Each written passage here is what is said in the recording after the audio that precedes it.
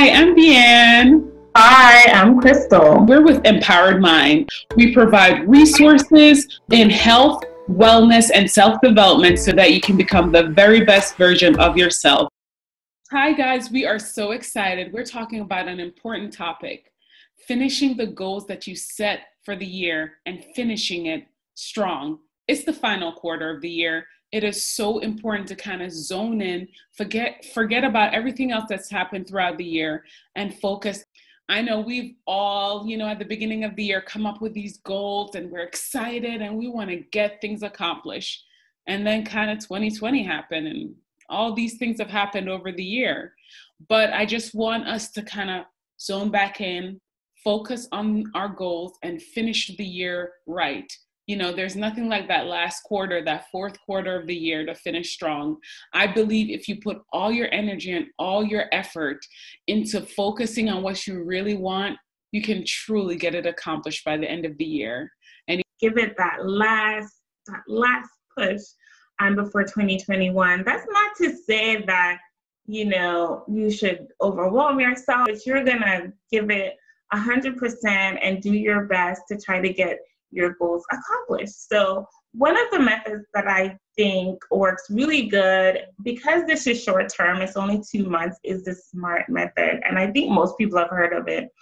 So, SMART says very, the first thing is the S is for specific. So, you have to be very, very clear on exactly what you want to do. The next thing is measurable. How do you know when the goal is completed? You know, how do you know when you can say, I'm done, I did it, I accomplished it? And then achievable. How are you going to get, get it done? And R is for relevant. You know, is this the right time to pursue the goal? With all that's been going on this year in 2020 in the whole world, is this the right time to do it? You have to ask yourself that tough question. And then the T is time bound when are you trying to finish this goal? You know, give yourself a set date. So here's an example of a statement that you can make for a SMART method. You can say, instead of saying, oh, you know what, I want to make at least a $1,000 by the end of the year. That statement is very general. So to use the SMART method to make that statement, you will say, I plan to earn $1,000 by December 25th, 2020, with a side job that I plan to get in the next week so that I can earn this money and help to purchase my brand new shoes that I love so much. I don't know, just come up with something that you want to get and be super specific with when you're going to do it, how you're going to do it, what you're going to use to get it done.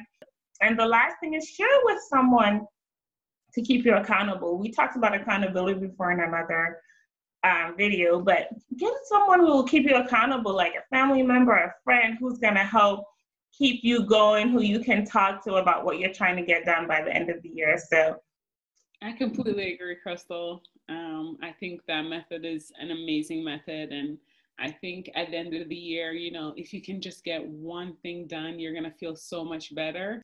All right. Thank you, guys. I think that's it for today. Let us know what goals you're working on. How are you going to get it done? And leave a comment with your SMART method statement. Share with us so we can help keep you accountable to get it done in 2020.